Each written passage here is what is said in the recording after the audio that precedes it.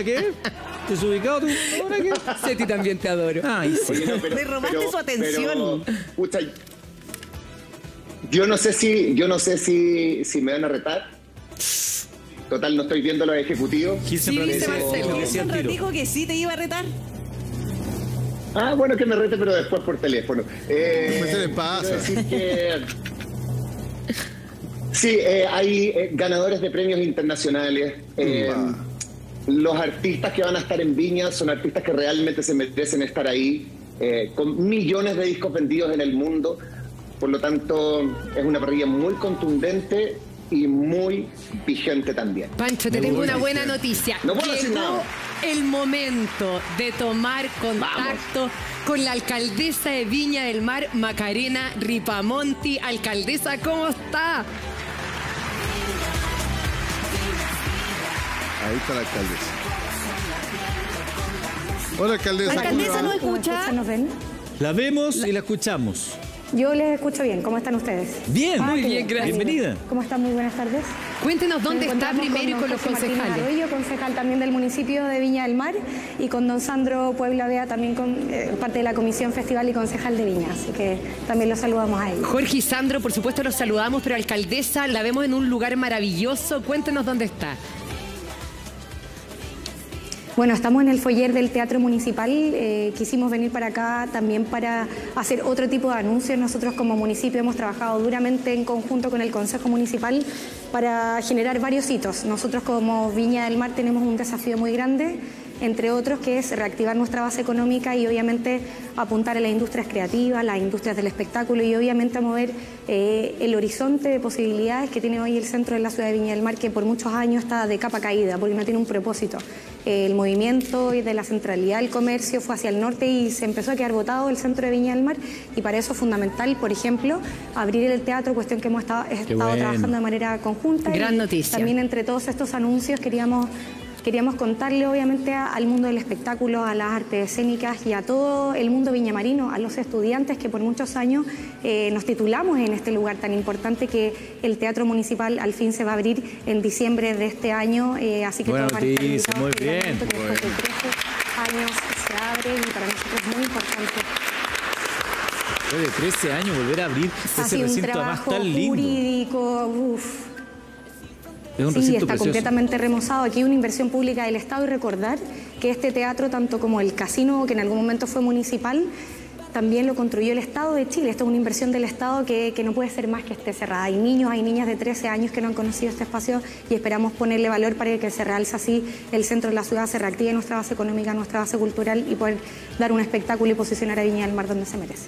Qué buena noticia, alcaldesa. Y ahora sí, llegó el momento de los anuncios, redoble de tambores. Estamos todos expectantes, nerviosos. Dele usted. Bueno, partir diciendo un poco la metodología y lo que nosotros pedimos como municipio. Ustedes saben, el Festival de Viña es un proceso concesionado en que los canales de televisión, en este caso conjuntamente Televisión Nacional con Canal 13, proponen una parrilla de artistas al municipio de Viña del Mar y nosotros eh, vamos ahí haciendo las aprobaciones. Para nosotros era muy importante que existiera una transversalidad en la parrilla, ¿cierto? Que pudiera haberse expresado números chilenos, porque tenemos que poner en valor la música chilena, pero también, por ejemplo, los tan esperados anglos antiguos, esas leyendas que eh, tienen que hacer vibrar también a otras generaciones. Y obviamente también poner en valor lo que hoy día está de moda, lo que los jóvenes obviamente bailan y las máximas reproducciones en plataformas que también lleguen al escenario más importante de Chile. Así que desde esa metodología se nos ha hecho llegar una propuesta que es la que vamos a anunciar en este momento. Vamos, alcaldesa, queremos escuchar. Con redoble de tambores. Vamos, tiene- lá- láncenos el primero para ir a comprar los Bueno. pompones, mandar a hacer la cintillo y todo ¿Les eso. parece, ¿Les parece si partimos con un chileno? Vamos. Ya. Ya. A mí me parece que es notable que vuelva un fenómeno chileno, eh, un- una banda que ha sido importantísima para muchas generaciones de nuestro país y el primero que tenemos que decir con mucho orgullo es que vuelven al escenario de la Quinta Vergara los Bunkers. ¡Eh! Amamos a los bunkers. Que han tenido un año extraordinario, Pri, además. Le ha ido muy bien a los bunkers porque además ellos son de la casa. Tienen una trayectoria mundial y muy importante lo que dice usted, alcaldesa, que bueno partir por casa y sobre todo reconocer a este grupo que ha marcado varias generaciones Sí, pues, ya. claro. Más de Estaban 20 con una años de carrera. sí, Fue una gira absolutamente exitosa el Ven aquí.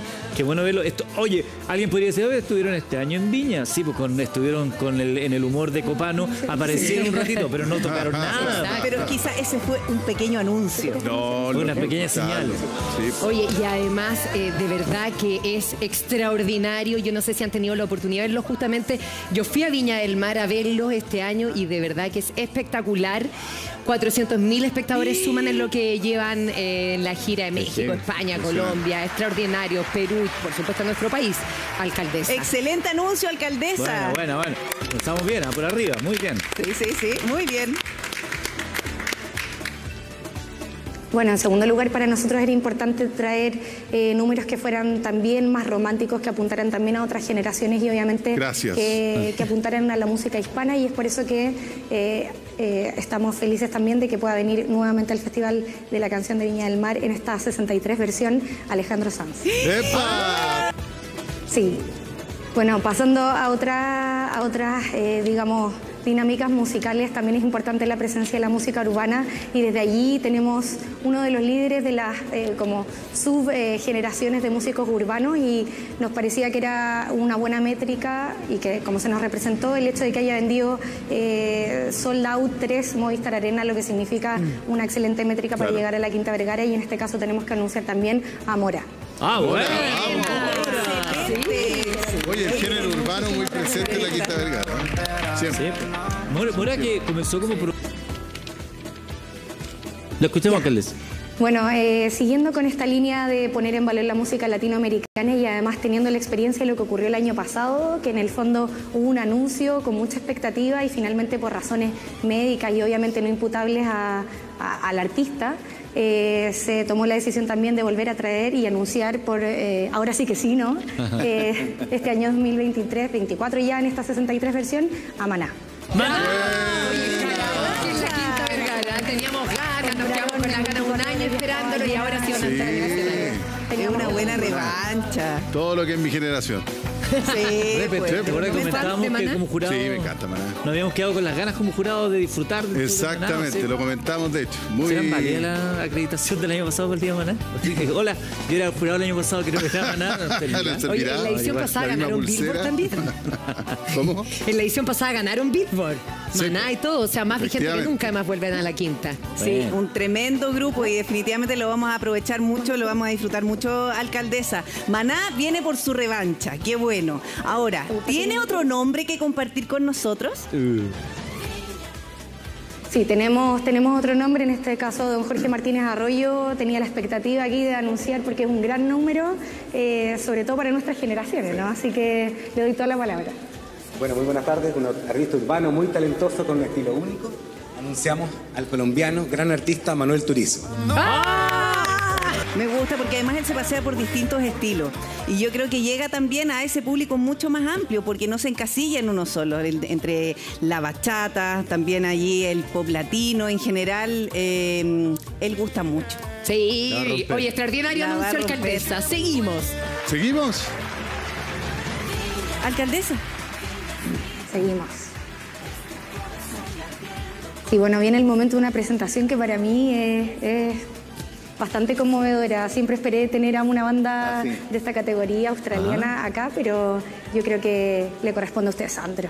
Muchas sí, gracias. por, por un tema generacional y, Muchas y gracias. epocal. pues. Muchas gracias.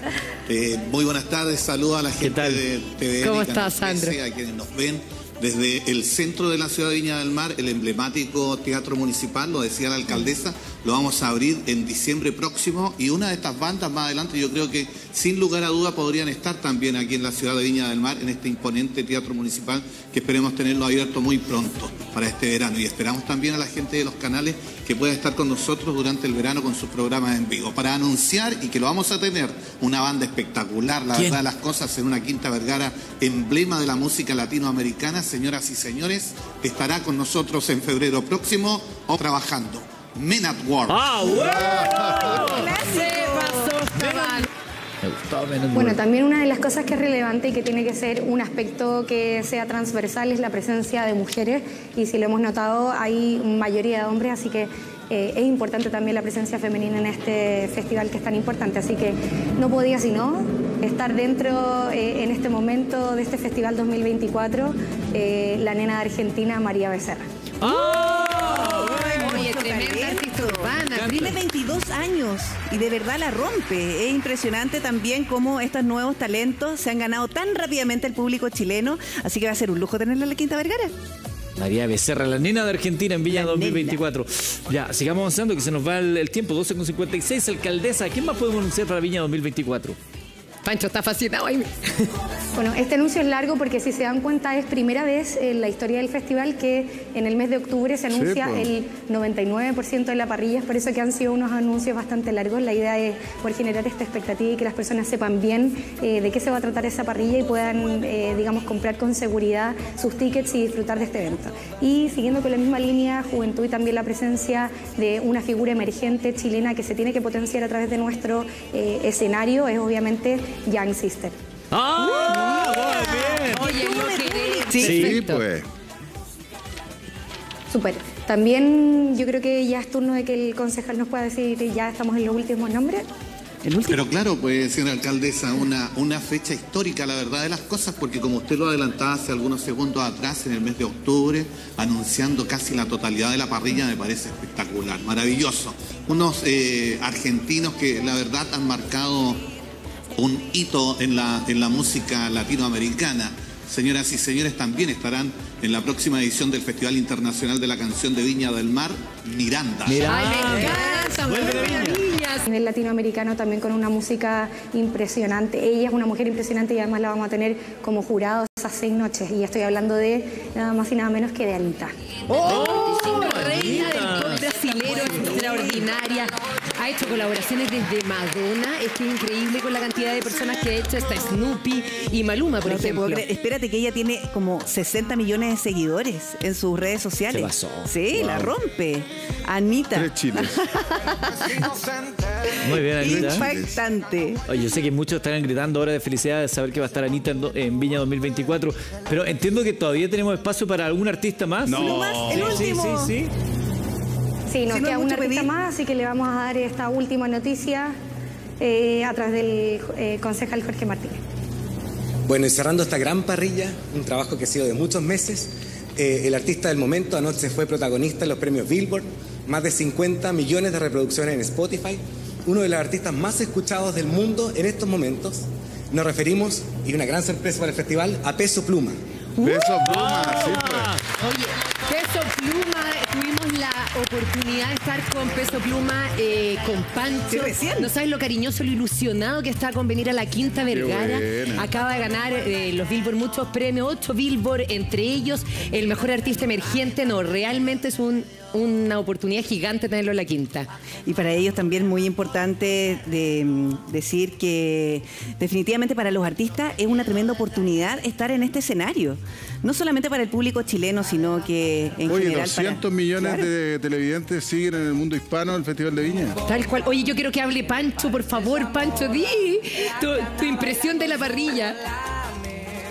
No, como lo decía la alcaldesa y los concejales, una parrilla absolutamente transversal eh, desde el 25 de febrero al 1 de marzo. Un hito también que se está marcando, que se anuncie con tanto tiempo de anticipación. Sí, pues. Aún quedan los humoristas, aún quedan otros artistas y bueno, eh, eh, hay muchas más sorpresas siempre con Viña. A prepararse, Pancho, para todas estas presentaciones, porque además usted tiene en esta oportunidad la posibilidad de cumplir un sueño, el Pancho, animando el festival, por supuesto, supuesto. con la Mari, y además el gusto de presentar a estos artistazos. Pero yo quiero preguntarle a la alcaldesa por el plazo para la inscripción de la competencia internacional y folclórica. Bueno, antes de eso quiero hacer un- una pequeña precisión. Si nos damos cuenta, hemos contado 11 artistas y la parrilla es de 12. Todavía nos queda la precisión de mencionar a un headliner, es decir, a un, a un número artístico muy fuerte. Así que hacemos la invitación a todas las personas que están viendo este programa y que también se están enterando en este momento de los artistas que puedan escribir, llenar las redes sociales de los canales eh, de Canal 13, de TVN y obviamente también del municipio para poder eh, hacer presente cuál es la idea, a quién quieren ver y quién es el número que queda todavía pendiente y que obviamente queremos que ustedes puedan decidir. Así que Ah. hacer todas las presiones posibles para que tengo se llenen esas bandejas de entrada de todas las redes sociales de Canal 13, de TVN y obviamente también del municipio para que puedan hacer eh, ahí toda la fuerza y que llegue él o la artista que ustedes estén esperando. Alcaldesa, el refe quiere partir. Dijo, yo ya tengo. Yo ya tengo uno, sí, quién? ¿A quién? sí, sí. Pero yo no sé si será posible, alcaldesa, usted sabe. Marcelo no hay cerrar. engaño, Marcelo Sí, Quiroz, No lo puedo decir porque voy a influenciar a la gente, pero mire, Da alternativas. Represéntanos. mirándola a los ojos, juraría que tiene algo nuevo que contarme. Ah, se lanzó José con Luis Perales, pues. Buen, buen Oye, artista. Lo Perales, habían, lo habían, eh, Buen nombre. No, yo no lo presenté, fue otro año. sí. lo habían, lo habían mandado para. Juégatela, juégatela por más. Juégatela por más, refe. No, no, ese. No, Ah, yo, yo ese. tengo otro, otro. A ver, a ver, dale. Yo voy a representar a muchos. Alcaldesa, tener a Luis Miguel sería demasiado Ah, imposible. se país fue no hay engaño, en país no hay engaño. Marcelo Que venga, que venga para el festival y se queda. Y se queda, se tiene que hacer un estadio nacional. Yo me lo jugaría, yo soy mucho más aterrizado. Ah. De Jam. acuerdo con usted. Soy mucho más aterrizado. Pearl Jam me parece que es una alternativa que podría ser. Por acá estamos de acuerdo, apoyamos la moción completamente. Muy buena. Muy Oye, bien. eh, eh, Pancho quiere decir algo. A ver, Pancho. Aprovecha, Pancho. No, Britney Spears. Con, con los cuchillos, eso. que- Oye, ya que estamos pidiendo Madonna, pues alcaldesa Madonna, pidamos nomás. sí. Apoyamos la moción. Acá están diciendo Elvis, nada que ver, pues Michael Jackson Bueno, tampoco, en, en definitiva, la idea es esa, motivarlos, esperar que da solamente un artista, un headliner, es decir, que es un artista grande que se puede traer, que es un cupo de un artista eh, que tiene que tener un renombre a nivel internacional y que lo hemos guardado para que ustedes como eh, ciudadanos y ciudadanas puedan efectivamente hacer estas presiones que estamos esperando para definir finalmente el artista que ustedes quieran. Y, Alcalde- bueno, y lo segundo importante también de mencionar es, dígame. No, no, no, la PRI quería No, decir. si era- es que yo le estaba preguntando por el plazo de inscripción para la competencia internacional y folclórica. ¿Se extendió? Sí, tenemos extendido el plazo de la inscripción para la competencia tanto internacional como folclórica. Tenemos que recordar que la esencia de este festival tiene que ver con esa competencia y cómo genera un envión en las carreras. Sola- pues. eh, eh, a propósito de los artistas que, que estuvieron el año Mucho pasado, talento. pensemos en Milena Wharton, que estuvo el año pasado y ya tiene una carrera impresionante gracias a la potencia, este envión a las carreras artísticas que, de los participantes, de los competidores. Oye, eso- Y en ese sentido, eh, cuidar mucho esto, participen. Las bases las pueden encontrar en las páginas web de cada uno de los canales y también de eh, la página web de nuestro municipio. Así que por favor, a inscribirse y a seguir bien las bases. Si la canción de muestra dura, por ejemplo, un minuto y usted manda de un minuto un segundo, queda fuera de base. Entonces, Ah, a leer muy bien las bases y a mandar eh, para que no puedan quedar fuera y es muy importante que participen. Toda la razón, hasta el 26 de octubre entonces se extiende el plazo para poder postular. Tan cierto lo que dice la alcaldesa Milena Wharton, como es un impulso en las carreras eh, de los artistas que participan de las competencias internacional y folclórica. Alcaldesa, muchas gracias. Pancho, tus últimas palabras. Un beso gigante, estoy fascinado con la parrilla y, y bueno, falta un artista y todos los humoristas y yo creo que también la gente debiese manifestar que a qué humorista le gustaría ver en la Quinta Vergara. Buena. Buena. Buena. idea. Alcaldesa, para que usted cierre. Nada, agradecerles todo este espacio, espero que las personas puedan manifestarse con toda su potencia para poder tener a ese artista, a esa artista que ustedes están esperando en este espacio en, el Festival de Viña. Hemos guardado este espacio para ustedes y estamos aquí transversalmente eh, sosteniendo, dándole fuerza a este Festival de la Canción. Hay diferentes cosas que mueven el país. Eh, y en definitiva, si hay algo que nos une completamente y que es propio de nuestra identidad chilena, es, yo diría, la Teletón. No sé si están de acuerdo conmigo.